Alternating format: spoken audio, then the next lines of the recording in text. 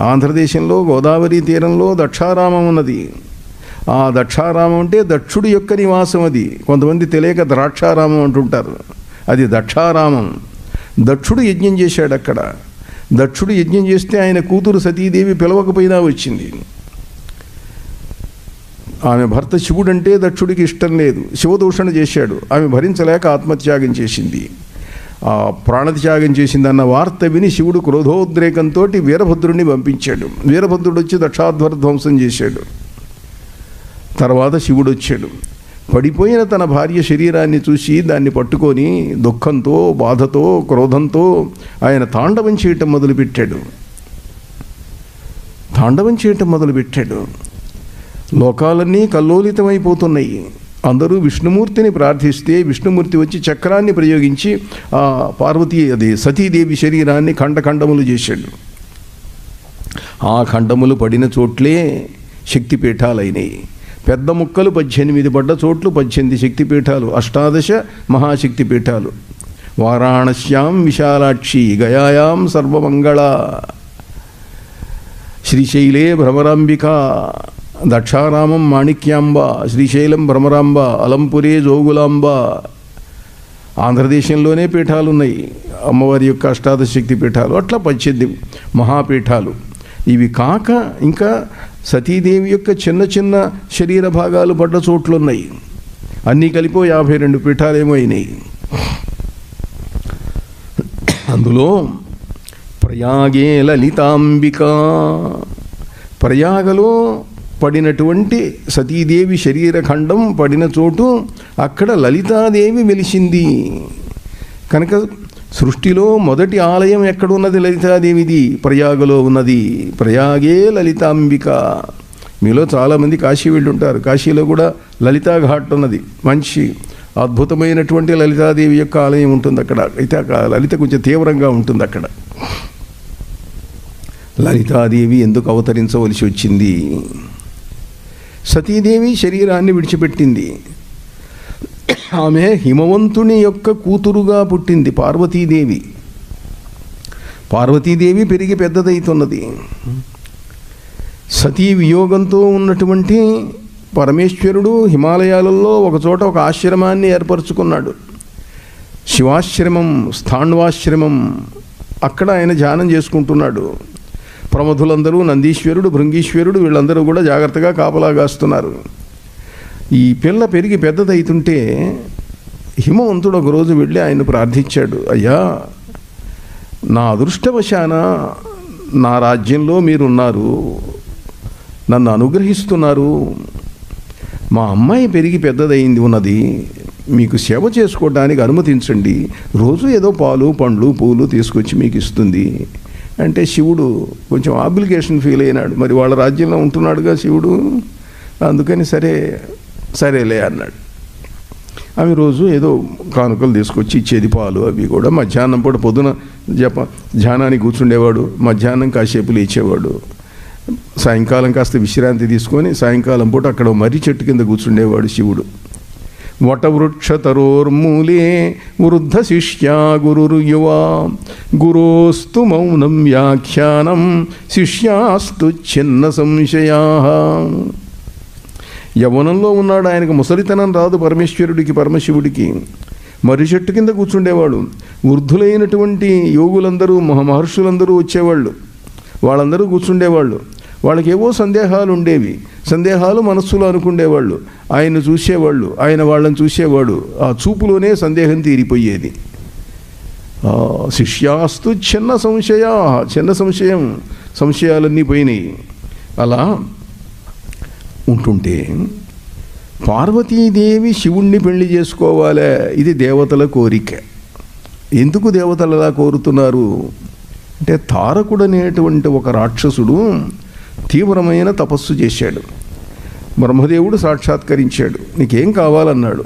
నాకు చావు లేకుండా అమరత్వం కావాలి అన్నాడు. అది ఇవ్వటానికి వీల్లేదు. అదొక్కటి తప్ప ఇంకేదైనా కోరుకో అన్నాడు. అట్లయ్యేటైతే శివుడు పెళ్ళి చేసుకో భార్య మరణించింది. శివుడు అంత తొందరగా మళ్ళీ పెళ్ళి ఏం చేసుకోడు. ఆయన ఒక మంచివాడు భార్య మరణిస్తే మళ్ళీ పెళ్ళి చేసుకుంటాడా? చేసుకోడు. కనుక నాకు మరణం అంటూ సంభవిస్తే శివుని యొక్క కుమారుడి వల్ల మాత్రమే కలగాలి ఇతరులు ఎవరి వల్ల కాకూడదు అని కోరుకున్నాడు. బ్రహ్మదేవుడు తథాస్తు అన్నాడు వెళ్ళిపోయినాడు. ఇప్పుడు శివుడికి సంతానం కలగాలి వాడిని చంపాలనంటే వాడేమో దుర్మార్గుడు అందరినీ బాధిస్తున్నాడు. శివుడికి సంతానం కలగాలంటే భార్య ఉండాలి. భార్య ఎవరిని పడితే వాళ్ళని నెట్ట చేసుకుంటాడు? సతీదేవి పార్వతిగా పుట్టింది. సతీదేవి ఆయన భార్య. దుర్గాదేవి పరమేశ్వరి జగన్మాత దుర్గా దక్షుడి కూతురు సతీదేవిగా పుట్టింది. ఆమె పార్వతిగా పుట్టింది ఇప్పుడు. కనుక పార్వతి ప- పరమేశ్వర శివుల యొక్క పెళ్ళి జరగాలి. శివుడేమో పెళ్ళి చేసుకునేటట్టు లేడు. శివునికి పార్వతి మీద కోరిక కలిగేటట్లు చెయ్యాలి అని దేవేంద్రుడు సభ తీర్చి మన్మధుణ్ణి పిలిచి ఈ పని చేసి పెట్టవయ్యా అన్నాడు. తప్పకుండా చేస్తానన్నాదోడు మన్మధుడు అహంకారంతో. కానీ వచ్చాడు. అక్కడంతా ప్రకృతి అంతా కూడా వసంత ఋతు వచ్చేట్టు చేశాడు. వాతావరణం అంతా చాలా ఆహ్లాదకరంగా ఉన్నది. పార్వతీదేవి వచ్చింది. వచ్చి నందీశ్వరుని అడిగింది స్వామివారికి నేను కానుకలు తీసుకొచ్చాను ఇవ్వచ్చునా నందీశ్వర? అంటే అమ్మా నీకు అడ్డమేముంది తల్లి వెళ్ళివ్వు అన్నాడు. ఆమె లోపలికి వెళ్ళింది. శివుడు లేచి నిల్చోని ఉన్నాడు స్వామి మీకు కానుకలు తెచ్చాను. ఇగో పండ్లు ఇగో పూలు అంటూ అందిస్తున్నది. అదే సమయంలో మన్మథుడు బిల్లెక్కు పెట్టాడు పుష్పబాణుడాయన అరవిందం అశోకంచ చూతంచ నవమల్లిక నిలోత్పలంచ పంచైతే పంచబాణస్య సాయకాహ పద్మము కలువ ఇవన్నీ ఆయన పుష్ప బాణాలు అవి. ఇంకా వెయ్యలే ఆ ఎక్కు పెట్టేసరికే శివుడి మనస్సు కదిలిపోయింది చెంచలమైంది. ఆమె పళ్ళెం ఇస్తున్నది పూలవి పెట్టిన పళ్ళెం. ఇస్తుండేటప్పటికి ఆ- ఆ పళ్ళాన్ని తీసుకుంటున్న మిషతో కొంచెం చే- చేతులు తాకాడు. అట్లా తాకాడు పట్టుకున్నాడు. ఆమె సిగ్గుపడిపోయింది సిగ్గుపడి స్వామి మీకోసం ఇవాళ తామర గింజలు తీసి ఎండబెట్టి మాలికగా తయారు చేసి తీసుకొచ్చాను. ఈ మాలిక మీకు జపానికి ఉపయోగించుకోండి అని అన్నది. తామర గింజలు మాల అనేసరికి ఆయనకు వెంటనే స్ఫురణ వచ్చేసింది. ఇదేమిరా ఇది? నా మనస్సు ఇలా చలించింది. అందము చిందువందు చెవియందలి చెందోవజారుచుండ పూలందుకొనుండటంచు సుమనోంజలి అల్లన సాచి శైలరాణందన వంగే. చెంగున అనంగుని చాపము వంగే. వంగె బాలేందుధరుండు కాన్కలు గ్రహింపగ ఉన్నమితోర్ధ్వకాయుడై. చెవిలో ఉన్న కలువ పువ్వు జారిపోతూ ఉంటే ఆమె అలా ముందు కొంగి ఇచ్చింది శివుడేమో ఎత్తుగా ఉన్నాడు. ఆమె ఇస్తున్న పళ్ళెం అందుకోవాలి. ఆయన ముందు కొంగట్ట ముందుకు ఈయన ముందు కొంగి ఆయన ముందు కొంగితే రెండు తలలు బాగా దగ్గరికి వచ్చినాయి రెండు చేతులు బాగా దగ్గరికి వచ్చినాయి. ఎప్పుడైతే ఈమె జపమాల అన్నదో వెంటనే అటెన్షన్ లాగా అయిపోయింది శివుడు.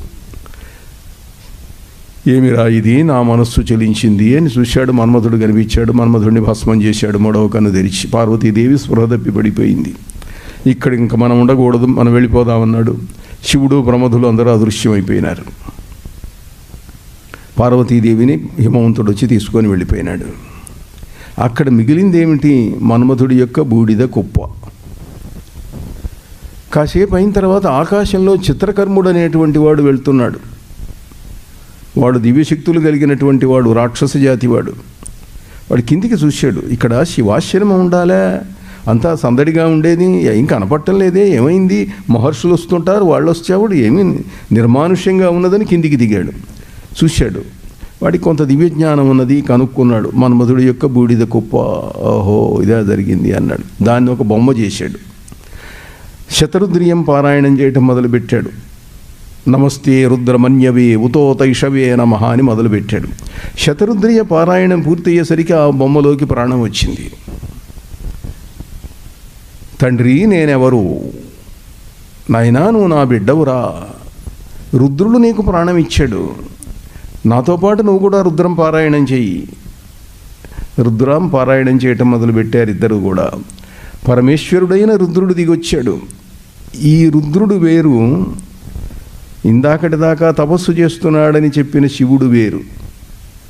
ఈ శివుని కంటే ఆ రుద్రుడు గొప్పవాడు. ఆయన ఈ బ్రహ్మాండానికి అవతల ఉంటాడు ఆ రుద్రుడు. అతడు వచ్చాడు నాయనా నీ పారాయణానికి నేను సంతోషించాను. నీకు జన్మాంతర సంస్కారం ఉన్నది. ఎంతో పుణ్యం చేసిన వాడివి. నీ పారాయణానికి సంతోషించి నీకు వరం ఇస్తున్నాను నీవు అజేయుడివి. ఈ బ్రహ్మాండంలో ఉన్నవాళ్ళు ఎవరూ నిన్నేమీ చెయ్యలేరు. నిన్నెవరూ జయించలేరు. నీకెవరూ ఎదురు నిలబడలేరు. అరవై వేల సంవత్సరముల పాటు నువ్వు ఈ లోకములను పరిపాలించు ఈ బ్రహ్మాండాన్ని. ఆయన వరం ఇచ్చాడు అదృశ్యమే వెళ్ళిపోయినాడు రుద్రుడు. బ్రహ్మదేవుడు వచ్చాడు. ఎంత అదృష్టవంతుడివిరా నువ్వు? భండ భండ భండ అన్నాడు. భండ అంటే సంస్కృతంలో శబాష్ భేష్ అని అర్థం. బ్రహ్మదేవుడంతటి వాడు భండ అనటం వల్ల వాడికి భండాసురుడు అన్న పేరు వచ్చింది. వాడు రాక్షస చక్రవర్తి అయినాడు. కొత్తగా ఒక రాజధాని నిర్మించుకున్నారు. ఎక్కడ ఈ సంఘటన జరిగిందంతా హిమాలయాలలో హిమాలయ పర్వతాలలో మన్మథ దహనము ఇవన్నీ జరిగింది పార్వతీదేవి కథ అంతా కూడా వాళ్ళు రాజధానిని దక్షిణ భారతంలో మహేంద్ర పర్వతం దగ్గర శూన్యక నగరం అన్న పేరుతో నిర్మించుకున్నారు. మహేంద్ర పర్వతం అంటే హనుమంతుడు సముద్రంలోకి దాటడానికి వెళ్ళినప్పుడు అడుగు పెట్టాడు అక్కడ మహేంద్ర పర్వతం మీద. మహానగరం నిర్మితమైంది. భండాసురుడు తనతో పాటుగా తాను ఏ భస్మం నుంచి పుట్టాడో ఆ భస్మపు పొడి ఇంకా అక్కడ కొంత రాలి ఉంటే దాంట్లో నుండి విషంగుడు విషుక్రుడు అని ఇద్దరిని తాను సృష్టించుకొని వాళ్ళు సోదరులుగా తీసుకున్నాడు వాళ్ళను. తన తమ్ముళ్ళు విషంగుడు విషుక్రుడు. వాడు ఒక ఆలోచన చేశాడు. సరే దేవతలందరినీ జయించాడు వాళ్ళందరూ వచ్చి సేవలు చేస్తున్నారు రుద్రుడి యొక్క వరం వల్ల. వాడు ఈ సమస్త లోకములలో రాక్షస జాతి తప్ప ఇంకో జాతి ఉండకూడదు. దేవజాతులు మానవ జాతులు విద్యాధరులు గంధర్వులు ఎవడు ఏ జాతి ఉండకూడదు. మన ఒక్క జాతి మాత్రమే ఉండాలి. అందరినీ చంపాలి. ఎట్లా చంపుతాం? అందరూ వచ్చి కాళ్ళ మీద పడ్డారు. శరణాగతులైన వాళ్ళను చంపటం న్యాయం కాదు. మరి ఎట్లా చంపకుండా ఇంద్రుడు ఉన్నాడు చంద్రుడు ఉన్నాడు వీళ్ళందరూ ఉన్నారు. అంటే వీళ్ళందరికీ ఇవాళ కాకపోతే రేపైనా చావు రాసి పెట్టి ఉన్నది కదా. వెయ్యేళ్ళు కాకపోతే పదివేల ఏళ్ళు పదివేలు ఏళ్ళు కాకపోతే ఇరవై వేల ఏళ్ళు మరణించక తప్పదు. ఈ మరణించినటువంటి వారికి సంతానం కలగకూడదు మరణించే వాళ్ళకు. అంటే ఒక్క రాక్షస జాతికి తప్ప ఏ ఇతర జాతికి కూడాను సంతానం కలగకూడదు. సంతానం కలగకుండా ఉండాలంటే ఏం చేయాలి? అంటే ఫ్యామిలీ ప్లానింగ్ చేయాలి. అప్పుడు ఆ రోజుల్లో ఫ్యామిలీ ప్లానింగ్ అవి అంత లేవుగా. వాడు ఏం చేశాడనంటే తన ఇద్దరు సోదరులు ఒకడిని కింది లోకాలకు అధోలోకాలకు ఒకడిని ఊర్ధ్వలోకాలకు పైన పంపించాడు. తాను సెంటర్లో ఉన్నాడు. ఈ మూడు భూలోక భువర్లోక సువర్లోకములలో ఈ తన పరిపాలనలో ఉండేటువంటి అన్ని లోకాలలో ఎవరికీ సంతానం కలగకుండా చేశాడు. పురుషుల్లో ఉన్న పురుషత్వాన్ని నాశనం చేశాడు. స్త్రీలలో ఉన్న స్త్రీత్వాన్ని నాశనం చేశాడు. ఎవరూ సంసారం చెయ్యలేరు శక్తిహీనులందరూ కూడా. దీన్ని కామప్రళయము అన్నారు. ఏ రాక్షసుడు చేయలే ఈ పని? హిరణ్యకశిపుడు చేయలేదు రావణాసురుడు చేయలేదు ఇంకే రాక్షసుడు చేయలేదు. వీడొక్కడు చేసినటువంటి భయంకరమైన పని. కామప్రళయం కలిగించాడు. అరవై వేల సంవత్సరముల పాటు సృష్టి ఆగిపోయింది. ఎవరు ఏం చేయలేరు. అప్పుడు అరవై వేల ఏళ్ళు పూర్తయితూ ఉంటే దేవతలందరూ రహస్యంగా సమావేశమై శివుడు విష్ణుమూర్తి అందరూ కలిసి సమావేశమై విష్ణువు దగ్గరికి వెళ్ళారు. వెళ్తే మనం ఏం చెయ్యలేం వీడిని అయ్యా మీరు దశావతారాలు ఎన్నో అవతారాలు ఎత్తారు వీరు అవతారం ఎత్తి చంపండి అంటే మనం చంపడానికి వీల్లేదు రుద్రుడు వాళ్ళకు వరం ఇచ్చాడు. ఈ బ్రహ్మాండంలో ఉన్న వాళ్ళు ఎవరూ వాడిని ఏం చేయలేరు అని. మనమంతా ఈ బ్రహ్మాండంలో ఉన్న వాళ్ళమేగా? బ్రహ్మ విష్ణు మహేశ్వరుడు. రుద్రుడు వరం ఇచ్చాడు. మరి ఏం చెయ్యాలా అంటే వాణ్ణి చంపగలిగింది లలితాదేవి మాత్రమే. రుద్రుడు ఏం వరమిచ్చాడు? నిన్ను ఎవ్వడూ ఈ బ్రహ్మాండములో ఉన్నవాడు చంపలేడు. బ్రహ్మాండంలో ఉన్నవాడు చంపలేడు. పుంలింగం. ఎవడూ చంపలేడు. ఇక్కడ ఉన్న వాళ్ళు ఎవరూ నేను చంపలేరు. స్త్రీ చంపవచ్చు. ఆ స్త్రీ కూడా ఈ బ్రహ్మాండంలో ఉన్న స్త్రీ కాకూడదు. లలితాదేవిని ప్రార్థిద్దాము. ఎవరా లలితాదేవి? ఎక్కడున్నది? మేము ఇప్పుడు వినలేదు అంటే ఇన్నాళ్ళు అవసరం రాలేదు చెప్పలేదు. ఇప్పుడు చెబుతున్నాను అన్నాడు. ఈ బ్రహ్మాండం ఉన్నదే మనం నివసించేటువంటి ఈ బ్రహ్మాండం భూలోక భువర్లోక సువర్లోక మహర్లోకాదులు ఇవన్నీ ఉన్నాయి కదా. ఇవన్నీ కలిసి ఒక అండాకారంలో ఉంటాయి కనుక ఒక గుడ్డులాగా ఉంటాయి కాబట్టి అండం అంటే గుడ్డు బ్రహ్మాండం. ఈ బ్రహ్మాండము చుట్టూ కూడాను కొన్ని వందల మైళ్ళ మేర ఉన్నటువంటి గోడ ఉంటుంది. ఆ గోడ మందం కొన్ని వందల వేల మైళ్ళు. ఈ బ్రహ్మాండం దాటి పైకి వెళ్ళాలి లలితాదేవి లోకానికి వెళ్ళాలంటే వెళ్ళి ప్రార్థించాలి. ఎలా ప్రార్థించడం ఆ గోడ ఎట్లా? గోడను ఎక్కడన్నా పగలగొట్టాలి. వెనకటి రోజుల్లో కోట గోడలు పగలగొట్టడానికి ఏనుగులను ఉపయోగించేవాళ్ళు. ఏనుగుల యొక్క కుంభస్థలాలకు ఇనప కవచాలు తొడిగి అది వెళ్ళి ఆ కోట తలుపులను బద్దలు కొడుతూ ఉంటే ఆ బద్దలు కొట్టించి లోపలికి వెళ్ళేవాళ్ళు. ఐరావతాది దిగ్గజములను పిలిపించారు ఎక్కడో చోట ఒక వీక్ ప్లేస్ చూసి పగలగొట్టాలి అని చెప్పి. ఒక చోట కొంచెం పగుళ్ళు కనిపిస్తున్నాయి. కొంచెం తడి కనిపిస్తున్నది. ఒక చెట్టు వేలాడుతున్నది పైనుంచి. ఓ చెట్టు గోడ బ్రహ్మాండం యొక్క కప్పు మంచి గట్టి కాంక్రీట్ రూఫు దాంట్లో నుంచి ఓ చెట్టు వేలాడుతూ ఉన్నది. కొమ్మలు కిందికి ఉన్నాయి. ఆకులు కిందికి ఉన్నాయి. వేళ్ళు ఆ గోడకు అవతల ఏదో ద్రవం ఉన్నది. ఆ నీళ్ళను పీల్చుకుంటున్నాయి. ఈ చెట్టు కిందికి వేలాడుతున్నది. ఆ చెట్టు దగ్గరికి వెళ్ళారు. రావి చెట్టు అది పల్లెటూళ్ళల్లో నుంచి వచ్చిన వాళ్ళు మీకు కొంత తెలిసి ఉంటుంది. గోడలో ఎక్కడో చోట ఒక కాకి వేసే రెట్ట వేస్తుంది. అందులో అది గనక ఆ రావి చెట్టు గింజ గనక ఉంటే అది పెరిగి పెద్దదై గోడలను కూడా పగలగొడుతుంది కొన్ని సంవత్సరాలకు. మీరు భగవద్గీత చదివి ఉంటారు. అందులో ఒక చెట్టును గురించి ఉన్నది. ఊర్ధ్వమూలమధశాఖం అశ్వద్ధం ప్రాహురవ్యయం ఛందాంసి యస్య పర్ణాని యస్తం వేద సమేదవిత్ వేళ్ళు పైకున్నయి ఊర్ధ్వమూలము అధశాఖము కొమ్మలు కిందికున్నయి।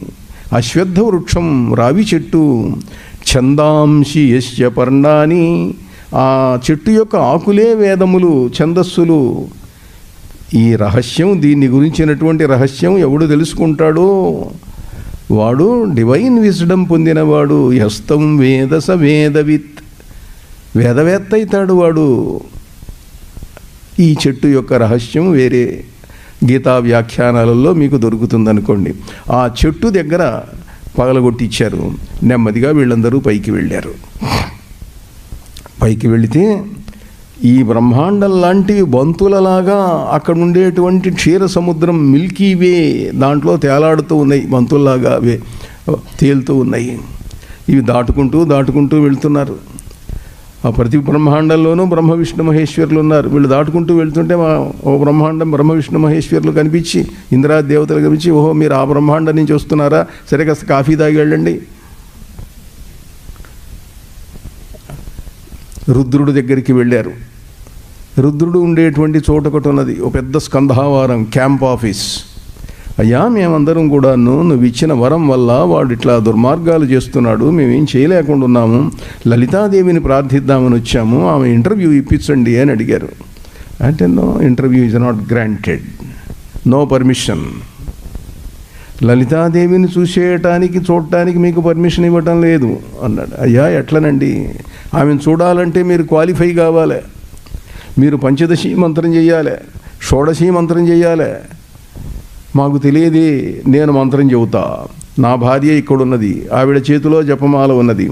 దాంట్లో నుంచి కొన్ని లక్షల కోట్ల జపమాలలు పుడతాయి. మాలలు ఇస్తాము. మంత్రం ఇస్తాము.